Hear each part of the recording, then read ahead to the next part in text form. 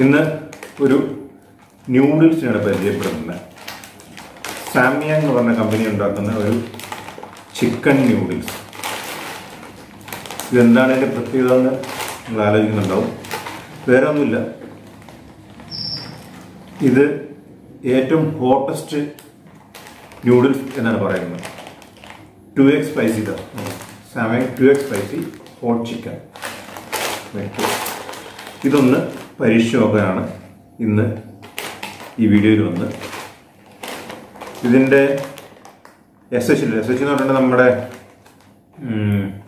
ഇതിന്റെ സ്പൈസിന്റെ value measure ചെയ്യുന്ന ഒരു യൂണിറ്റാണ് എസ് എച്ച് യു അതിൽ പറയുന്നത് ഈ ഈ ന്യൂഡിൽസിന്റെ എസ് എച്ച് വാല്യൂ എന്ന് പറയുന്നത് എണ്ണായിരത്തി എണ്ണൂറ്റി എട്ട് യൂണിറ്റ് ആണെന്നാണ് ഇതിന്റെ ഉള്ളിൽ എങ്ങനെ ഉണ്ടാക്കേണ്ടത്? നോർമൽ നമ്മുടെ സാധാ ഇൻസ്റ്റന്റ് ന്യൂഡിൽസ് ഉണ്ടാക്കുന്ന പോലെ തന്നെയാണ് പ്രിപ്പറേഷൻ കാര്യങ്ങളെല്ലാം.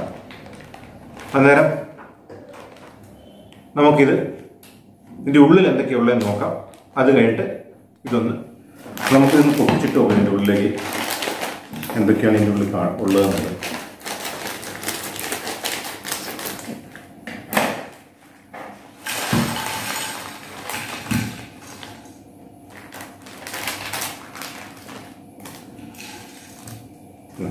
നോർമൽ നമ്മുടെ ന്യൂഡിൽസ് പോലെ തന്നെ ഇൻസ്റ്റൻ ന്യൂഡിൽസ് പോലെ തന്നെ. പിന്നെ രണ്ട് പാക്കറ്റ് അതിന്റെ ഫ്ലേവർ ഇത്രേ ഉള്ളൂ.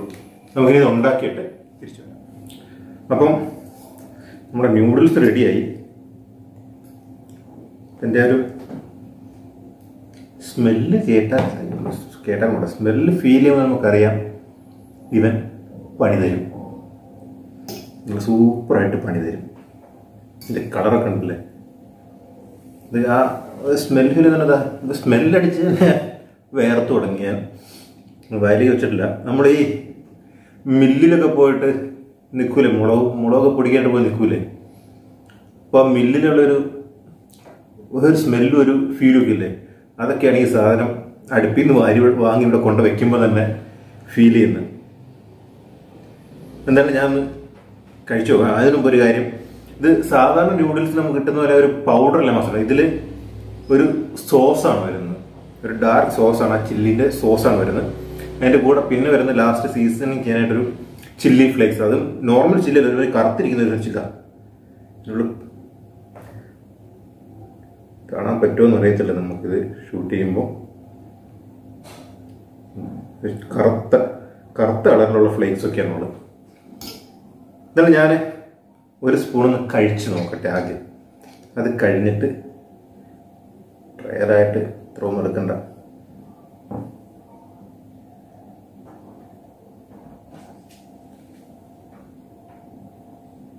അപ്പം കഴിക്കാൻ പോവാണ്.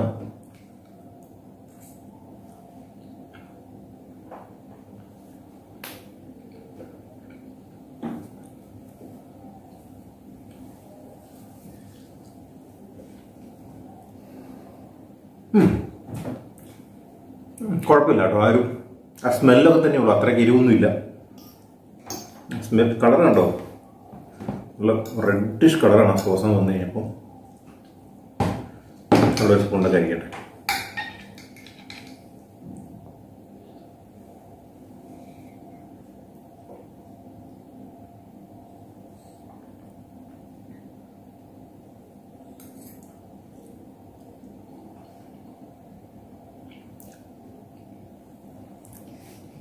സംഭവം കുഴപ്പമില്ല എരിവൊന്നുമില്ല.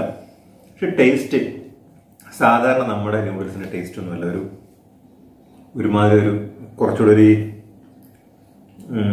ചൈനീസ് റെസ്റ്റോറന്റിലൊക്കെ കിട്ടുന്ന പോലെ ഒരുമാതിരി കുറച്ച് സോസ് ഒക്കെ ഇട്ടുള്ളൊരു ഒരു അഴകുഴ സെറ്റപ്പ് ഇല്ലേ? ആ ഒരു സെറ്റപ്പാണ് എല്ലാവർക്കും ഇഷ്ടപ്പെടുമെന്ന് അറിയത്തില്ല. എനിക്ക് എന്നാലും അതിന്റെ ടേസ്റ്റ് അത്രയും കണ്ടുപിടിച്ചിട്ടില്ല. ഞാൻ എന്താണ് ഇതിന്റെ പർച്ചേസ് ലിങ്ക് ഡിസ്ക്രിപ്ഷനിൽ ഇട്ടേക്കാം. ആർക്കെങ്കിലും മേടിച്ച് നോക്കണമെന്നുണ്ടെങ്കിൽ മേടിച്ച് നോക്കാം. ഇതിൽ ടേസ്റ്റ് ഒന്നുമില്ല ചിക്കന്റെ ടേസ്റ്റ് ചിക്കൻ നൂഡിൽസ് എന്നൊക്കെ പറഞ്ഞത് ചിക്കന്റെ ടേസ്റ്റ് ഒന്നുമില്ല ചിക്കന്റെ ഇതൊന്നും കാണുന്നില്ല. കുറച്ച് നൂഡിൽസും ആ ഇത് മാത്രമേ ഉള്ളൂ. പിന്നെ ഈ സോസും ആണ്. അപ്പോൾ നമുക്ക് മറ്റൊരു വീഡിയോയുമായി വീണ്ടും കാണാം.